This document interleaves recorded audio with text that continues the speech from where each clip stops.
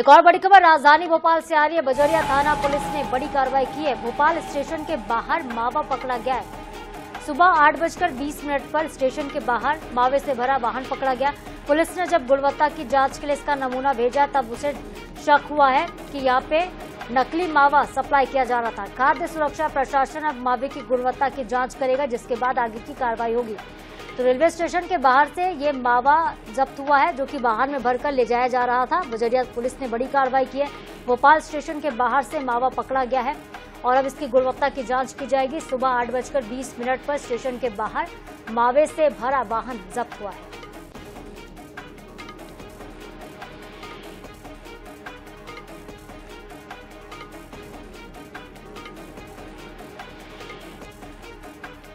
तो भोपाल से ये तस्वीरें आपको दिखा रहे हैं। पुलिस ने बड़ी कार्रवाई की है। बजरिया थाना पुलिस ने बड़ी कार्रवाई करते हुए रेलवे स्टेशन के बाहर से मावे को जब्त किया है।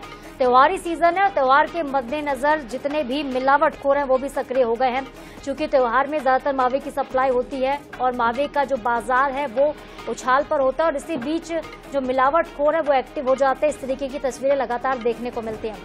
सहयोगी अंजलि सिंह का रुख कर लेते हैं। फ़ोन पर हमारे साथ जुड़ गई है। अंजलि गुणवत्ता की जाँच के लिए हालाँकि नमूना भेजा गया लेकिन कितना आ, मावा है ये कितनी मात्रा में मावा जब्त किया गया है? वाहन किसका था?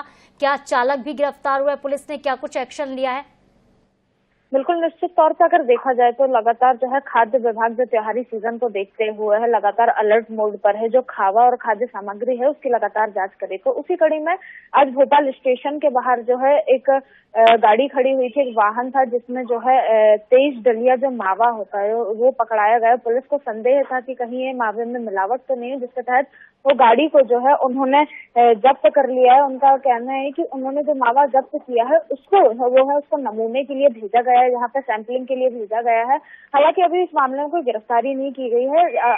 अगर मावे में मिलावट पाई जाती है तो उसके आगे ही कोई कार्रवाई होनी संभव है। फ़िलहाल जो है मावे ड्राइवर साथ में है, पुलिस के पास है, लेकिन जो नमूना है, क्योंकि बड़ी मात्रा में अगर हम देखा जाए तो तेज दलिया मावा एक बड़ी मात्रा कहलाती है तो बड़ी मात्रा में जो है पुलिस ने ये पकड़ा हुआ है। तो अब देखना होगा कि जो सैंपलिंग हो रही है, लगातार जो खाद्य विभाग लगातार जो है कार्रवाई कर रहा है तो उसमें देखना होगा कि अगर कुछ मिलावट पाई जाती है तो कड़ा एक्शन लिया जाएगा और उनके खिलाफ कार्रवाई भी की जाएगी। बिल्कुल, अंजलि त्योहारी सीज़न में मिलावटखोर भी काफ़ी ज़्यादा सक्रिय हो जाते हैं और जाँच के बाद ही नमूने के सैंपल जो लिए गए इसकी जाँच पे ही पता चलेगा, आखिरकार ये मिलावटी मावा है या फिर नहीं। बहुत शुक्रिया तमाम जानकारी के लिए आपका, अंजलि।